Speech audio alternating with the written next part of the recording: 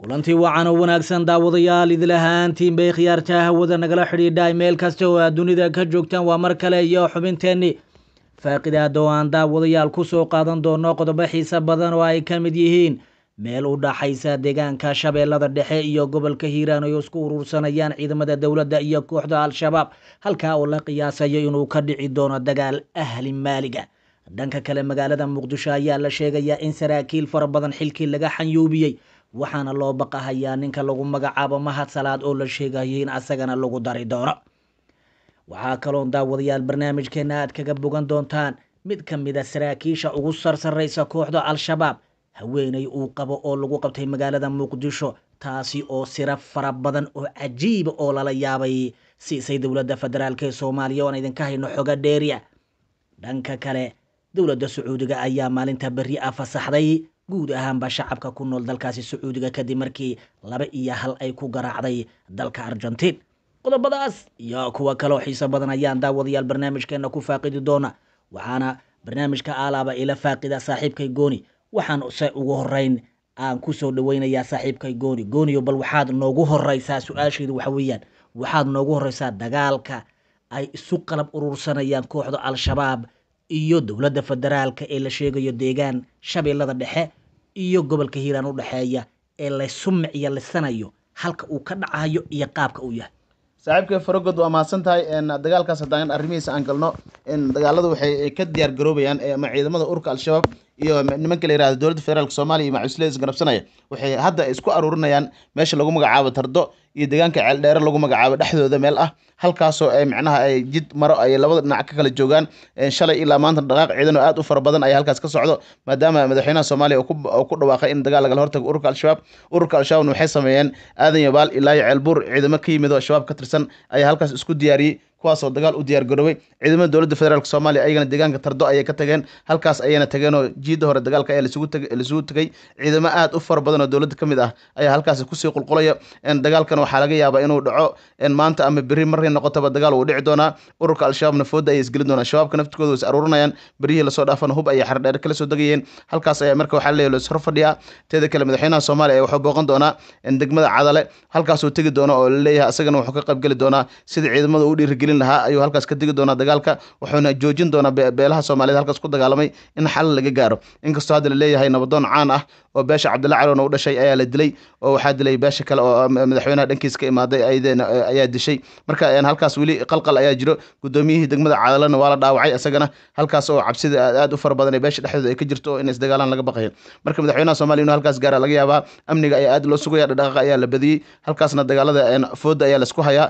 Mararka wararkeena dambe ayaan ku fafaahin doonaa dagaaladaas iyo wixii ku soo korro ninka la faragodow daawadayaal waxaa jira sida aan ku soo qaadanayba barnaamijka hordhacdiisii haweeney uu qabay. Nin ka tirsan saraakiisha ugu sorsaraysa kooxda al-shabaab oo fashilisay siro cajiiba oo uu saaxiibkay gooni inoo haya dib ayaan ka soo qaadan doonaa laakiin bal marka hore waxaan rabaa inuu saaxiibkay gooni ku horeeyo waxaa jira saraakiil fara badan oo uu ka mid yahay caliyare cali oo laga qaaday xilkii iyo xalimo yarey waxaa kaloo ayadana loo baqahaya in xilkii laga xanyuubiyo taliya mahadsala ninka lagu magacaabo oo ah taliyaha ugu sarreeya ciidamada nisa saaxiibkay faragod waa mahadsan tahay haddii aan ku hormarno caliyare cali xilka laga qaaday gudoomiye ku-xeenka amniga gobolka banaadir waxaa loo magacaabay isla beesha habeergidir salebaan asaguna wuxuu ahaa beesha ceer ayuu ka dhashay.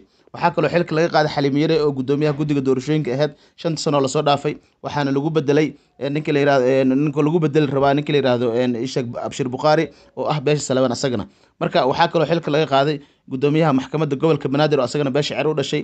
Saddexdaba xililkii waa laga xayuubiyey. Haddana waxaa beesha ceer u haray oo keliya oo xil hayo. Mahad maxamed salaad oo nisa madax ka ah marka hadda beesha ceer maadaama xililka laga qaaday oo beesha salebaan ay meeshii la wareegtay hadda waxay u baqayaan in mahad salaad xilka laga qaado maadaama culeys fara badan ay ka dareemayaan in madaxweynaha dhankiisa kaga imaanayo aysanna ogeyn sababta loo barashar madaxweynaha waxaa aada ugu kacay markii la dilay ninkii cabaas siraaji dilay oo la dhihi jiray ceydiid markii la dilay waxaa aad looga kacay dhuusamareeb iyo meelo kale oo fara badan iyadoo beesha ceer ay aad u eedeysay. Ninkii madaxweynaha soomaaliya xasan sheekh maxamuud ayagoona ku eedeeyey in ceydiid gardar lagu dilay ceydiidna qof hore ayuu dilay oo cabaas siraaji ayuu dilay oo wasiir ahaa. Marka dhibaatada meeshay ka bilaabatay oo madaxweynaha halkuu kala qaada in halkaas taa loo malaynaa. Marka beesha ceer oo laga sifeynayo ciidamada iyo gobolka banaadir iyo taliyaasha iyo gobolka maxkamadda intaba laga sifeynayo ilaa iyo guddoomiyaasha maxkamadda intaba waa laga qaaday. Marka hadda waxay beesha ceer u baqaysaa in xilka laga qaadi doono mahad maxamed salaad cabsidaas ayaa soo wajahday waxaana laga yaabaa sida wararka ay nagu soo garayaan mahad salaad in xilka laga qaado maadaama beesha ceer ay aad weyn u soo jeedisay madaxweynaha soomaaliya ayna ku tilmaantay ragga madaxda ka ah beesha ceer ee ku jiro ee dowladda federaalk soomaaliya inay la mid yihiin haween aysan waxba dhaamin haweenka. Marka eedaas oo ay ka jawaabi waayeen mahad salaad uu ka garaabi waayey madaxweynahana in ka raaligelin waaye ama xataa uu beeshiis kala hadli waayey arrintaasi ayaa keentay in xilka laga qaado ragga isku beesha ahaayeen oona ugu horreeyay caliyaro cali ugu dambeysa xalimiyarey haddana laga baqay in mahad salaad xilka laga qaado faragodow aada iyo aad buu u mahadsan yahay daawadayaal barnaamijkeeni faaqidaad oo aada u xiiso badan ayaan bartanka kaga jiraa daawadayaal sida aada la socotaan ciyaaraha koobka adduunka ee ka socda dalkaasi qatar ayaa waxaa isku hardinaya guud ahaanba caalamka.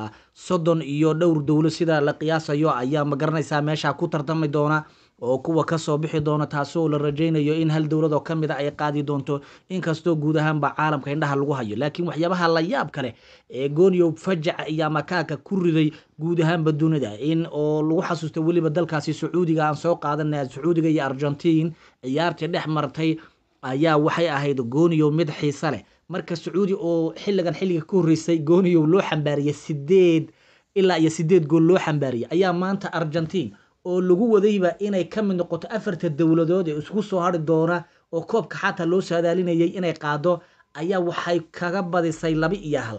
Haddaba arrintaasi maxaad faahfaahinaysaa? Horta faragodow sacuudi carabiya ayaa ka badinaysa argentiin qof si dhahaya ma jiro. Dad muddo fara badan aan aniga ciyaaraha daawanayay weli ma arkin sacuudiga oo kulan badinayo oo ka badinayo waddan internationalka ama markii la yidhaahdo world cupka iyagoo badinayo weli ma indhahayga ma saarin waxaa xasuusanaa marar fara badan in sacuudiga marna lix loo dhiibay marna sideed loo dhiibay marna afar iyo saddex loo dhiibi jiray marka sacuudiga waa lagu tashan jiray markii lagu daro guruubyada lagu soo daro dadka lagu tashtay ahaan jireen ha laakiin hadda macalin ajnabi a haysto waxaa la sameeyeyba naadiyaasha ka ciyaara sacuudiga naadi ka mid ah ayaa world cupka dadka aad oo dhan ba laga soo qaadaba marka tiam isfahansan oo macnaha isku ciyaar ah oo horyaalka iskala ciyaaro. Aa meesha la keenay. Macalin ajnabi oo cadaanan uu haystaa. Macalinkaas ajnabiga wuxuu koob u soo qaaday meelo fara badan oo koob u soo qaado maxaa wadanka zambia la yiraahdo oo ka soo noqdo oo Ivory Coast koob u qaaday. Marka waa nin qabiir ah. Ciyaartooydan wuxuu ka dhigay ciyaartooy talent ah oo dadaal badan. Inkastoo sacuudiga labaatanka daqiiq u dambeeyay difaac galeen. Waxay sacuudiga ka badiyeen ninka lixda jeer ku guuleystay world playerka oo lagu magacaabo Lionel Messi. Taasoo marka hadda adalhayn aad u badan oo baraha bulshada ay hadal hayso. In sacuudiga oo nyaanya ahay oo aan weligood aan badin inay ninkii lixda jeer world player ku guuleystay Lionel Messi ay ka badiyeen ayaa wax la yaab leh.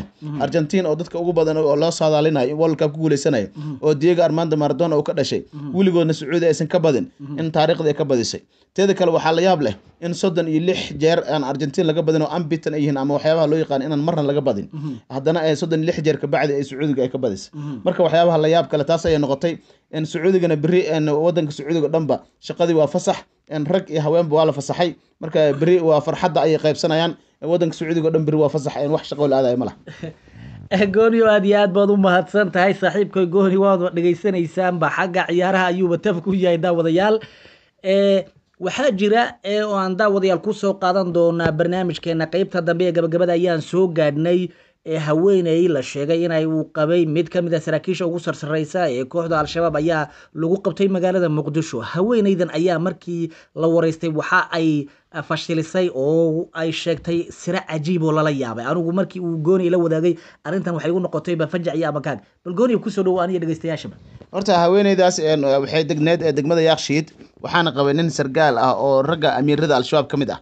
Marka waxyaabaha in haweeneydu amiir shabaab qabo ay magaalada muqdisho degantaha wax la yaab lama ah. Laakiin guriga ay degantahay waxaa la degnaa haweeney kale oo asla amiirkaas uu qabo midda kale waxaa la yaab la sii ah waa isla degnaayeen hal guri laba qol isku dheganay degnaayeen qol saddexaad oo gurigaas uu leeyahay waxaa degnaa wiilal iskaabulo ah oo qaraxyada ururka al-shabaab u sameeya. Marka mar walba waxay tiraa markaan kala hadalno war waxaan qaraxyada ama nugu qarxan? Carruuraan haysanaaye. Waa noo hanjabid jirana tiri odaga wacayn odaga intana soo wuxuu leeyahay ka leexda raggaas lama hadli kartaan marka taas markii qaraxyada ay ku samayn jireen markii dambe waxay tiri anagu noloshii aan u baqnay dowladdii waati hadda meelaha gobollada ay weerartay cabsidii aan ugu badatay waa la kala yaacay ay tiri marka intaanan guriga aan ka tegin waxaa noo imaan jiray tiri rag dumar shabaab ah oo dhahayo anaga guriga ninkan waxaa noosoo tilmaamay ninka amiirka ahaa asagaana na qabo marka dumarkii waxay tiri markay mar labaa noo imaada mar kale labaa noo imaada mar kale labo haddana dumarkii markii aan isku darna meeqaatiin dhammaantiin lixaan hay tiri lixdiina ma amiirka idin qabo? Markaasay jira haa labadeena namana qaba haa ma sideed oo amiirku qabaa? Haa markaas waxay tiri haa anaga waalidiinteena siiyo ninkan waa nin jihaad ku jiro. Ninkan wuxuu ka soo jeedaa koonfur galbeed. Haweenkaas afar ka midana koonfur galbeed ka soo jeedaan. Afar ka midana beelaha kale oo soomaaliyada ka soo jeedaan. Marka waxay dhaheen sideedeena waa hal amiirana qabo marka waxyaabaha mucjisada leh in shabaab ee magaalada muqdisho ayna haween ku qabaan la yaab ma leh laakiin in sideed haweena oo nin hal nin u haysto ayaa la yaab ah. Waxyaaba hadda lagu eedeynayay inay shabaabka ay si xun ula dhaqmaan dumarka. Ama aysan xataa inaysan guur waxa u aabayeelayn oo dhaqamadooda aada u xun yihiin ayaa soo baxayso. Hal amiir oo sideed haween qabo. Haddana qaarkood hal guur isla degan yihiin. Oo haddana qaar kuwii kalena ay soo booqanayaan. Waa wax lala yaabo marka nihow shabaabka waxyaabaha laga sheegaya waxyaaba badanaa ka jiro in hal nin oo sideed naag qabana. Waa xaaraam diinta islaamkana afar naag ogoshahay wixii ka badana lama ogola. Marka waxyaabaha layaab kale oo aniga aan soo akhriya ayay ka mid tahay fargodow